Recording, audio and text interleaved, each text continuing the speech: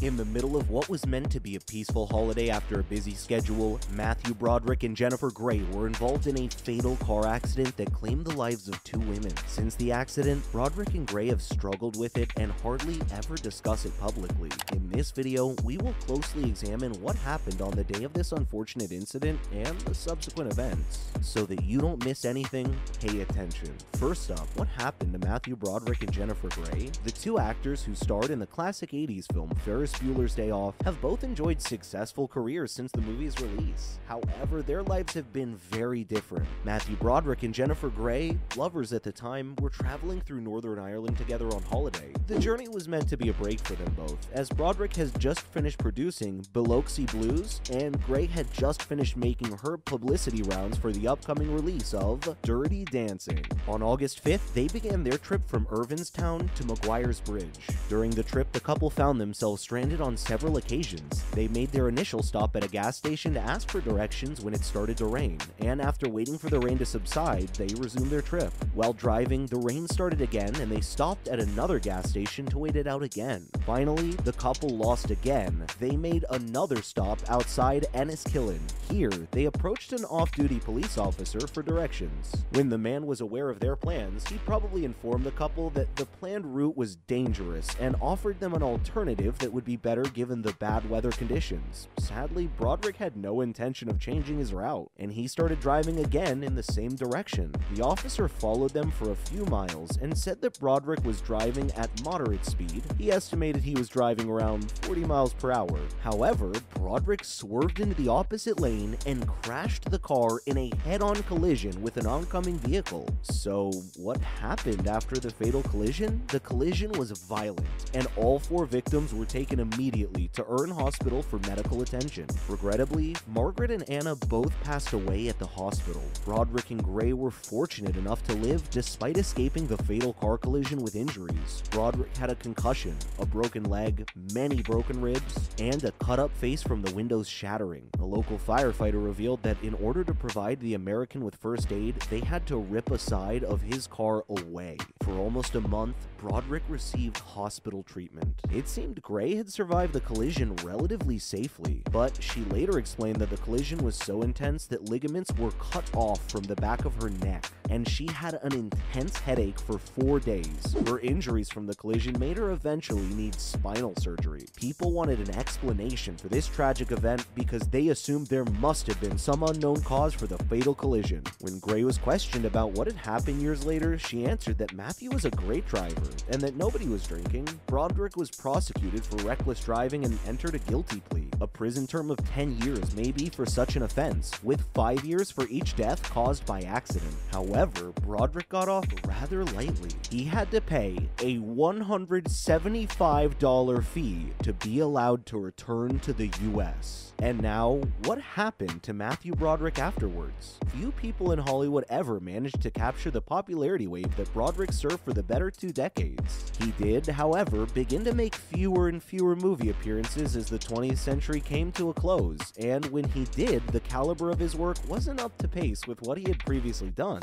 Here are some of the highs and lows Matthew Broderick has seen throughout his career. Broderick had to climb the ladder just like other actors. He didn't merely appear on the Hollywood scene as a well-known figure, he enrolled in the HB studio where he started his acting career. According to the Los Angeles Times, Broderick landed his first role on Horton Foote's On Valentine's Day workshop production.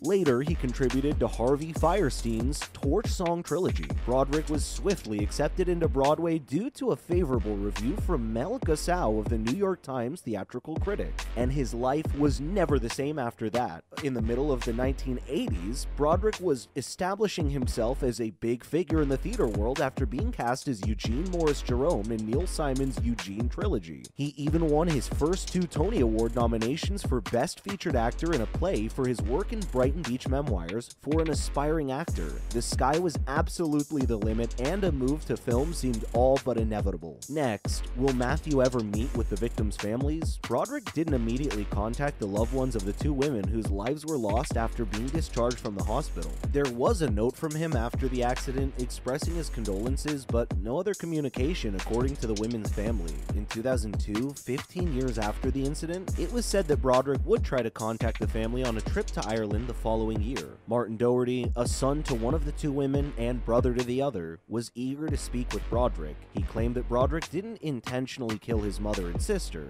Martin Doherty had tremendous emotions at the time, however, he has now forgiven Broderick and doesn't have any resentment toward him. Broderick acknowledged how difficult it had been for him to accept what had occurred and said he had sought therapy to help him cope. The meeting, however, is said to have never happened. In fact, Broderick faced harsh backlash for appearing in a multi-million dollar Super Bowl advertisement for Honda in 2012, a decision many deemed to be callous. The two had not yet met, according to Doherty, who claimed that the actor wasn't the best choice of drivers, considering his record. He also recognized that he might find some closure for his encounter with Broderick. He stated that there has always been something in the back of his mind. In County Donegal, Ireland, Broderick and his wife, the Sex and the City actress Sarah Jessica Parker, have a vacation home. So, was Ferris Bueller's Day Off a blessing or a curse to Matthew Broderick? After earning a few smaller roles, Broderick took on the lead role in John Hughes' 1986 classic Ferris Bueller's Day Off.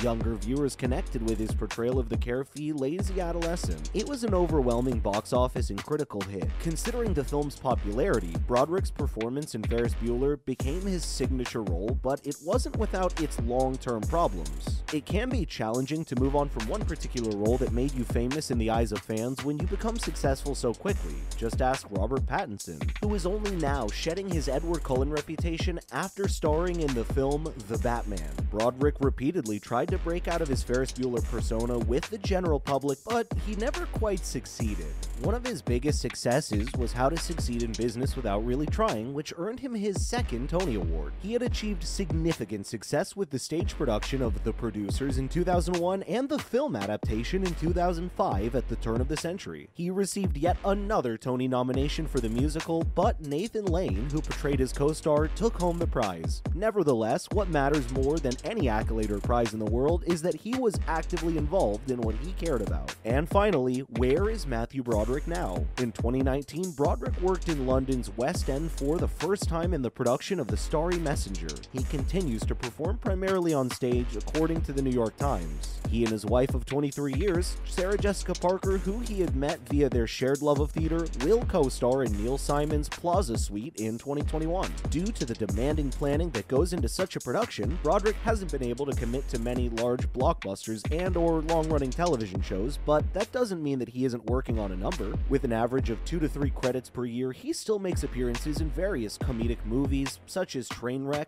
To Dust, and Lazy Susan. However, he works far more frequently on television because he usually only makes brief guest appearances.